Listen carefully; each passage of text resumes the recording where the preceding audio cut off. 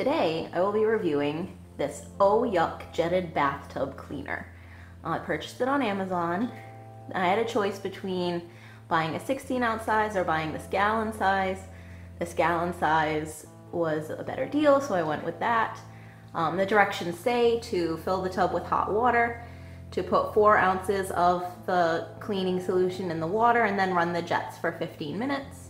So we are going to do that and we are going to see what happens.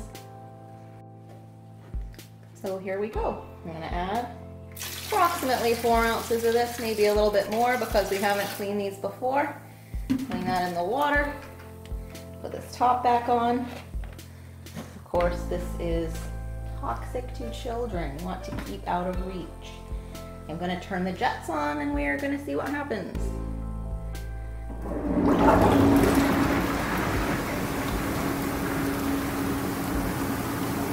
That pretty much right away it's foaming up. Should start going through the jets. According to the package, we should start seeing some residue come to the surface of the water. I'm going to check back again in a few minutes and see how it's doing. Okay, we are about five minutes into our running of the Oh Yuk solution through the jets, and you can see, I zoom in a little bit here, how it's already pulling a lot of crud out of there.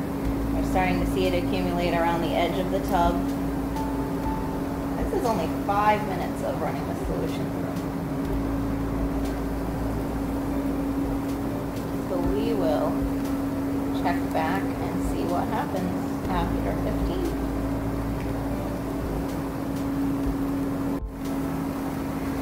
So here we are checking the progress of our Oh Yuk jetted tub cleaner. And this is about 20 minutes in. I got kind of caught up and lost track. So this is after 20 minutes of running. And you can see along the edge of the tub all of the dirt that's collected from our jets.